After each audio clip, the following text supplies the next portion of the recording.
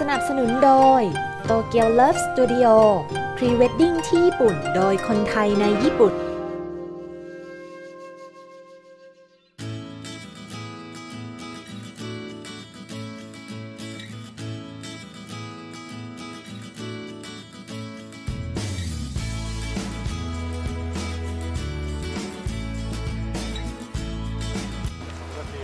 สวัสดีค่ะกบเครื่องเรื่องญี่ปุ่นโดยสาวแซดแซตามาและอบลุงนะคะ วันนี้เราจะพาเพื่อนๆมาเที่ยวที่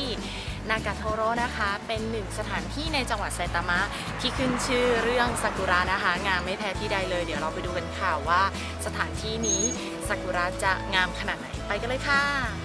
นี่นะครับ เห็นไหมเอ่ยงามไหมนี่เราอยู่ที่ที่ไหนนะนากาโทโร่ใช่ซึ่งกำลังฟูบูมใช่ภูมิ จะเห็นจะให้ดูว่ารอบๆนะครับ อันนี้เป็นเมืองซากุระเลยก็ว่าได้นะครับ จะเห็นว่าตามถนนนะฟูบูมหมดแล้วนะครับ แล้วตรงเนี้ยมันจะสวยเพราะว่าเป็นเขาเรียกว่าเป็นเออคล้ายอุโมงค์ถนนนะ แล้วก็จะมีศาลเจ้านะ ที่เป็นประตูข้างเข้าอ่าศาลเป็นเจ้า ประตูสันเจ้าใช่ ใช่ ให้ดูนะครับว่าสวยงามเพียงใดเพราะว่า เขาทำสีขาวนะ เพื่อให้กลมกลืนกับซากุระด้วย ปกติสันเจ้าจะสีแดง สีส้มๆสีแดงๆเออแต่รอบเนี้ยเขาทาเป็นสีขาวนะครับ มันจะเข้ากับธีมซากุระมากเลยนะครับ อันนี้เดี๋ยวเราจะถ่ายเก็บเป็น cover เก็บภาพสวยๆให้ทุกท่านได้ชมนะครับ เพราะว่าบางทีอาจจะไม่มีโอกาสได้มานะ บางคนอาจจะมาไม่ทันมาไม่ได้บ้างหรือว่าไม่มีโอกาสได้มาเดี๋ยวเราจะถ่าย แล้วก็เดี๋ยวเราจะข้ามนี่นะครับ ตรงไปนี่นะครับจะเป็นสถานีรถไฟพอข้ามไปเนี่ยจะเป็นแม่น้ำ เขาเรียกแม่น้ำอาราคาวานะครับแล้วทีนี้จะมีการล่องเรือด้วยนะครับ ที่นี่แล้วก็คุณสามารถที่จะล่องเรือชมซากุระด้วยเออแต่เดี๋ยวเราจะไม่ได้ล่องเรือนะ เพราะว่าเดี๋ยวดูเวลาอีกทีนะครับถ้ามีเวลาแต่ว่า ตอนนี้เราเก็บภาพซากุระก่อนนะแล้วก็คนเยอะมากนะครับเห็นไหมว่ารถที่เข้ามาติดมากเลยนะครับ ที่จอดรถก็ประมาณ 500ถึง520 เยนต่อวันนะครับ ต่อวันนะครับ ก็ไม่แพงใช่ไหมใช่อ่า ก็ถือว่าไม่แพงนี่ครับ เราจะให้ดูศาลเจ้าสีขาวเสาของศาลเจ้านะครับ สวยๆนะครับเป็นประตู แล้วก็ดูที่จอดรถนะ เดี๋ยวจะให้ดูที่จอดรถสวยมากเลยนะครับวันนี้ นี่นะครับที่จอดรถที่จอดรถยังสวยขนาดนี้นะครับ อ่าเราเข้าไปดู เราเดินเข้าไปทางฝั่งนู้นนะนี่ครับ ตอนนี้เราพาทุกท่านมาเดินที่ถนนคิตะซากุระโดรินะครับ หรือว่าเป็นถนนทางเหนือของถนนเหนือเส้นเหนือของซากุระนะครับ โดยที่เราอยู่ที่เมืองอะไรนะ นากะโทโรนะอันนี้นะครับสวยมากเลยนะ นี่นะครับเรามาถึงแล้วนะครับ ตรงนี้เป็นเส้นที่เรียกว่าเป็นเส้นฮิต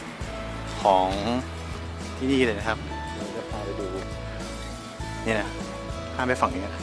นี่นะครับเห็นว่าถนนสวยมากเลยนะ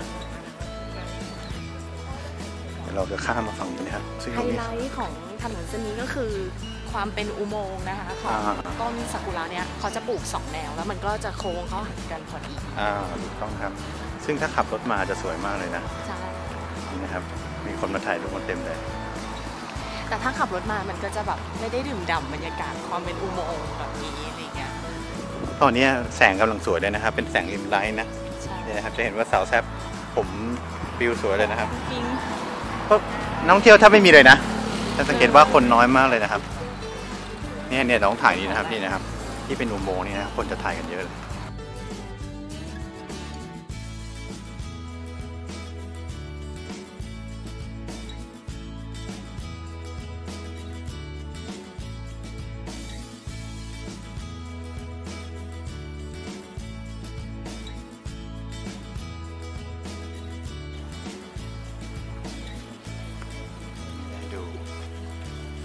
ากุระแบบริมไลท์นะครับ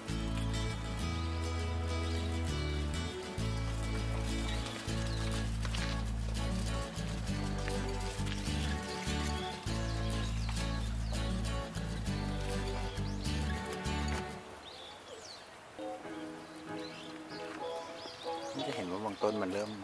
ผลิใบมาแล้วนะครับ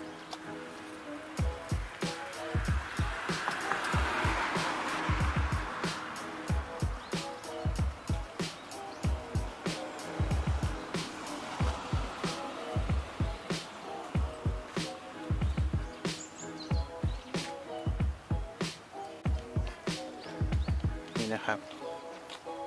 จะให้ดูว่ารอบๆนะ